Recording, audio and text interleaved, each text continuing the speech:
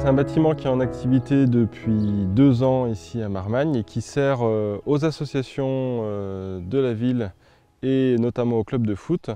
On a été sollicité par la commune de Marmagne pour réaliser ce projet dans un délai assez court parce qu'il y avait un ancien bâtiment qui a été démoli et qu'il a fallu reconstruire euh, dans, un délai rapide.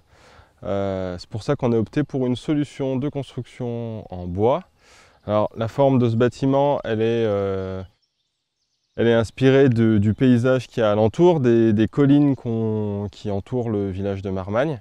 Euh, c'est ce qui a donné cette toiture, euh, cette forme de toiture ondulante, notamment dans la, conception de la charpente qui suit l'ondulation de la toiture. Pour construire cette charpente en bois, on a utilisé une ressource locale en utilisant au maximum du, du douglas qui vient des forêts du Morvan.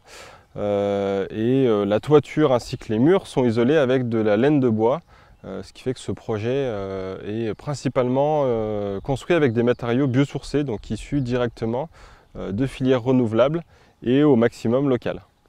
cet équipement qui est derrière moi est un équipement qui correspond tout à fait à notre attente, puisque ne serait-ce qu'au mois de juin de cette année, il a accueilli au travers de quatre manifestations organisées par les associations locales, plus de, plus de 2000 personnes.